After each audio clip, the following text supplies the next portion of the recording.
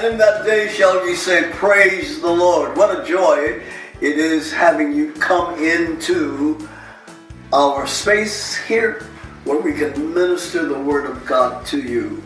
And we're coming to you today with a message that has been preached somewhere around the world. Something like Santiago. Don't know where he is. I just pray that you'll be blessed, inspired, healed, delivered, set free, fear gone, faith arise, and that you will receive today from this preached word just what you need. Thank you so much for being here. Amen. I, am so glad to be here today. And in that day shall ye say, Praise the Lord. Praise the Lord. I'm glad to be here today. Uh, it's a joy to be here. I'm going to let you sit down in a minute and then you'll stand back up for the reading of the word. But uh, I, I want to say to you, it was years ago, I, I, don't know how many, that I went to a church in Charlotte's. Uh, Charleston, West Virginia. And I, I, don't think it was as large as this building, but the pastor at that time was T.D. Jakes, Bishop T.D. Jakes. And I said to that congregation that the day is coming that this man that you have as pastor will be known throughout the United States. I didn't say throughout the world, I said throughout the United States. And I began to pro, uh, prophetically declare some of the things that he would be doing. And I left. He became friends of mine, and uh, we grew up through the years, traveled together to Africa and various places. And it just mystified me how God took him and He's become the T.D. Jakes that you know him to be now, but I know, knew him when he was in a church not as large as this. I say that to say that since that time, I have not met another person, in my opinion, that uh, equals that kind of prophetic pronunciation until I met your pastor.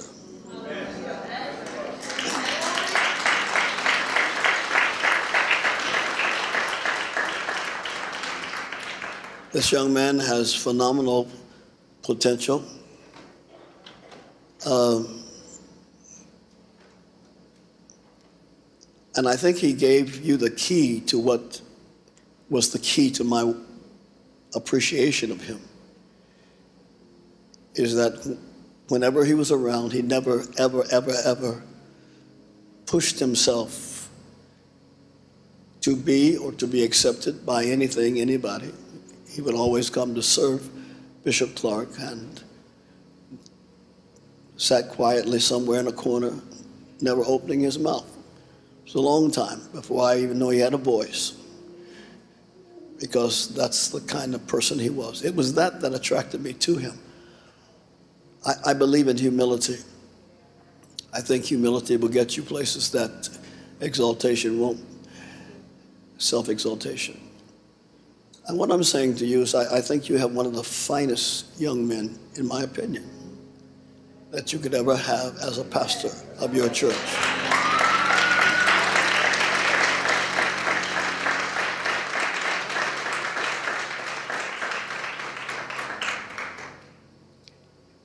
It, it's an opinion. But maybe you can put some weight in my opinion because last year I celebrated my 70th year in the ministry.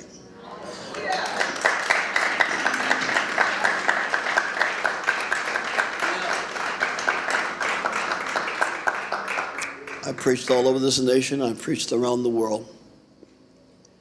And so I think being in the ministry 70, 70, not 17, 70 years provides me a little bit of credibility. And uh, this is the only church that I have left my church as to be in on, on Sunday. Seems very strange to be out of a pulpit.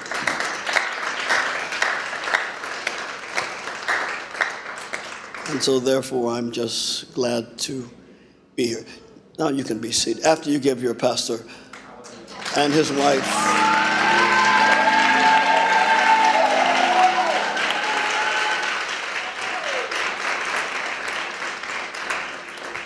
Behind every good man, there's a better woman.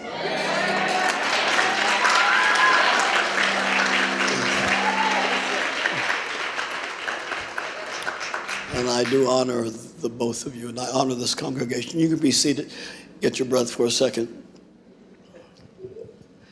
Can I, can I just be me? You know, all these lights and things, that scares me. I mean, Jesus have mercy. What are you doing with these lights? Taping me? Videoing me? You find What, what, I mean, I don't know what y'all doing. I, can't see, the lights are blinded. I, just, I just want to come out here. That's right, that, that camera is good enough. Take, take, take that. Y- y'all put that on the screen. Yes. I, I, it, it was crazy that I got up this morning and the Lord says, I want you to sit down and calculate what I've done for you this year financially. I said, okay. When I got through calculating, the Lord said to me, Now you, you, you have spent 70 years going out and giving. Now, this is your season that giving will come to you and you won't have to leave home.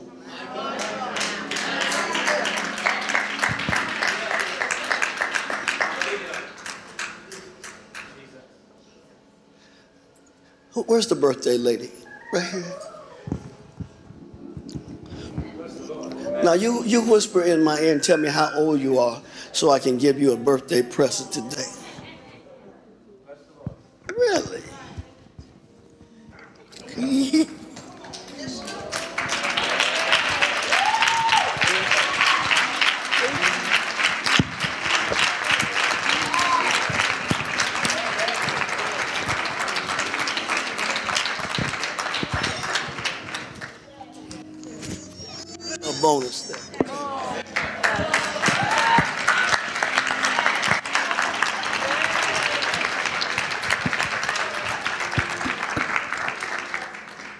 I always carry money with me, and a lot of it, so the thieves can know.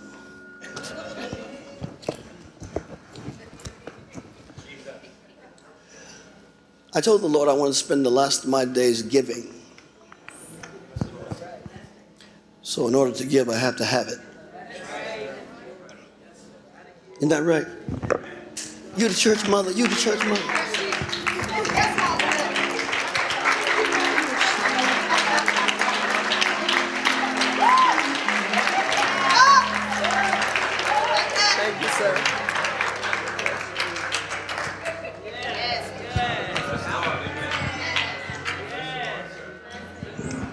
Anybody else want some? Okay, that's I thought. All right.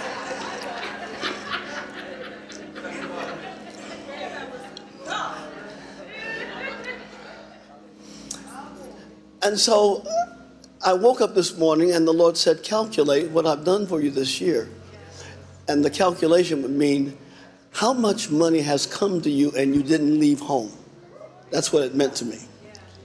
And so I started putting all together what the Lord had done for me just this year up to today. And Elder Chester Banks, yeah, I, I just want to make sure I had the first word right, first name right. Up to today, up to today, and I haven't left home. Money has come to my house, to my account you you would like to know this because I see you into some kind of money, some, doing something, something with some money. Okay.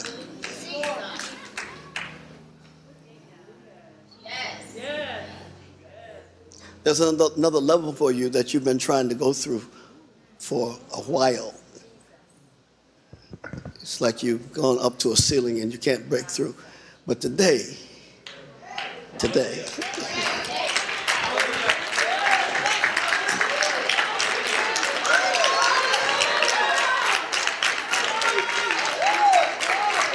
Don't, don't, don't, don't y'all praise too much. Y'all taking up my time. Okay, don't praise too much then. Because y'all want to be out of here and uh, you're going to say, I kept you in church. When it was your praising that kept you in church because y'all was taking up all my time. All right. But if you do what God says do today, it's going to be a breakthrough. Who are you? Okay. I want to be sure because it's been something that you've been urging him to do, pushing him to do, and it hasn't taken hold yet. And God's getting ready to honor. Thank you so much for tuning in to us. And I pray that you have been blessed and inspired, delivered, set free, and healed. If you have been, why don't you sit down and send your gift to us? $22. That's what I'm asking you to give. That will denote what God is going to do in your life for the rest of this year. Be blessed. Hopefully, we'll see you on tomorrow.